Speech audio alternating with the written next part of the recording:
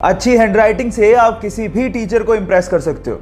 और कई लोगों ने बचपन में अपनी हैंडराइटिंग को ठीक करने के लिए कोशिश भी की होगी। कईयों ने ठीक कर ली होगी और कईयों ने टीचर से मार भी खाई होगी।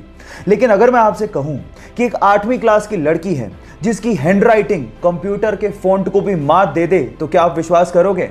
जरा ध्यान से देखिए इस हैंडराइटिंग को। लड़की नेपाल की है, जिसका नाम